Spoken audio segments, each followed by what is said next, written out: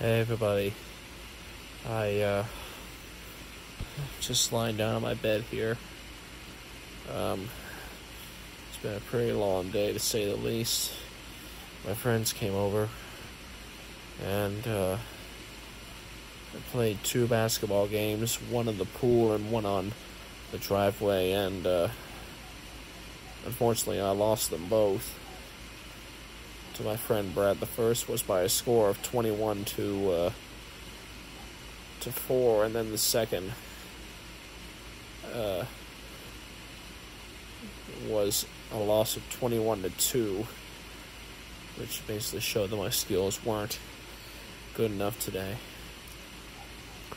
Um, I don't know what happened to me. My basketball skills are beginning to uh, go down a little bit.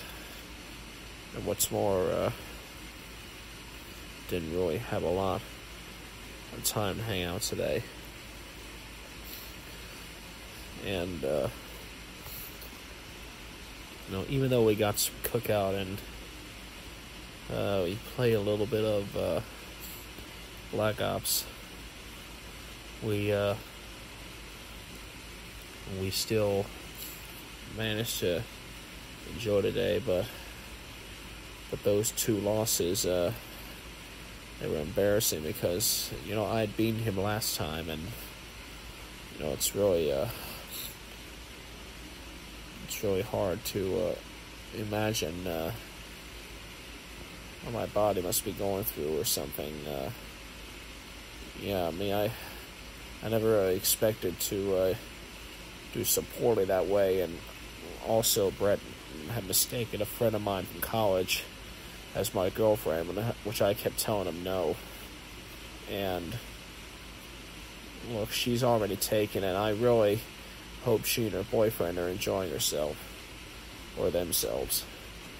Uh, as for me, uh, I don't even have a, uh, a girlfriend. Just to clear things up, I don't have a girlfriend, and I don't know if I'll ever get one because uh, ever since last year, I've kind of given up on love. And, uh, it's really, uh, it's really hard to get a girlfriend.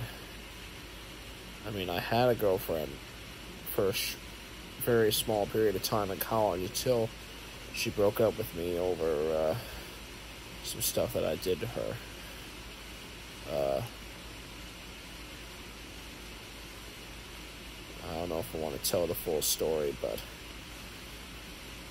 but it's uh, it's gonna be a little hard to explain. But anyway, uh, hope you guys are having a good day, and just hope that you continue to like and subscribe. God bless.